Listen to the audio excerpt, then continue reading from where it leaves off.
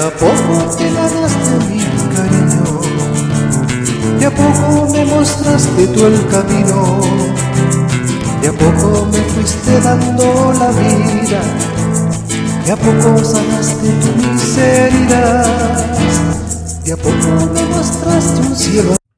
Penúltimo, un día, oh, un día y terminamos, terminamos abril, ¿se dan cuenta, hermanos queridos? ahí estamos, avanzando, avanzando. Y tenemos que ver que mi vida ha avanzado. Sí, hemos avanzado, retrocedido, esa es la vida. Pero lo importante es siempre avanzar. No importa cuántas veces nos caigamos, no importa. Lo importante es que siempre nos levantemos.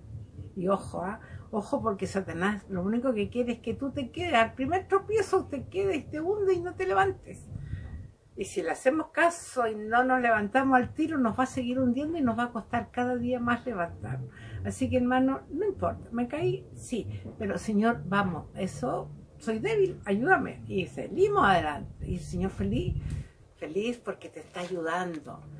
Te está ayudando porque tú le has permitido. Y veamos, en esta palabra, estamos en los salmos, ¿ah? en este libro del Antiguo Testamento de alabanza y veamos hoy día en el Salmo 13, 6, ¿qué nos dice? ¿Qué conversamos con el Señor? Yo confío en tu amor. Mi corazón se alegrará por tu salvación. Cantaré al Señor porque me ha salvado. Palabra de Dios. Cantaré al Señor porque me ha salvado. Hemos estado hablando todo este tiempo de agradecimiento en este mes hemos terminado de hablar de agradecer, de alegría por el triunfo de la resurrección, por el triunfo del amor. Pero no saca nada el triunfo del amor. El Señor ahí pagó tu deuda, firmó el cheque por Juan, por la Leticia, ah, por, por Pedro, por José. Ahí firmó el cheque y le puso deuda pagada para Marta, para Jeremías, para Lalo, para Eugenia. Di tu nombre, pagado. Y lo puso en la cruz. ¿Para qué? Para que tú seas feliz, para que tú seas llena de la paz y del amor. Pero si tú no recibes el regalo, se pierde. Mucha gente dice, él ya pagó por mí. Bueno, ¿y dónde está? ¿Tú recibiste el regalo? Porque para que el regalo sea efectivo, ¿no es cierto? Tú tienes que abrirlo, tú tienes que recibirlo. Entonces, preguntémonos, cuando andamos así, allá, por acá, estoy, he recibido, he abierto el paquete, ese paquete del amor del Señor para que me ayude. Pero cuando yo ando miento, cuando yo ando con el chisme, cuando yo ando la droga, cuando ando mirando para el lado, cuando ando con mi orgullo, cuando ando mi soberbia, cuando no quiero perdonar a la gente porque no, y lo que me hizo no tiene perdón. Bueno, no, ese regalo no sirve porque si me hizo un regalo de la paz, del amor, para que yo viva en el, sea paciente, sea humilde, que respete y me va a ayudar a salir adelante.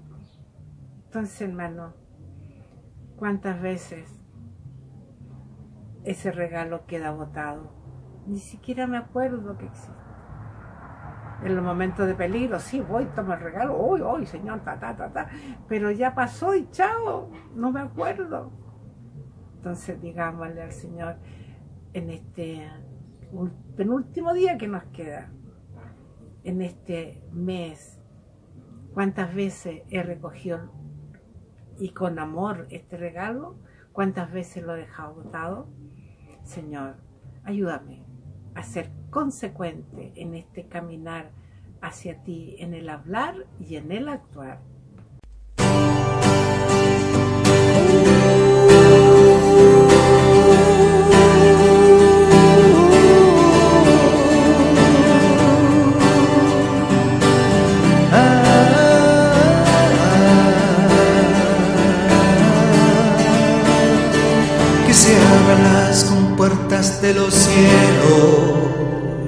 Para aquellos que esperan en el Señor.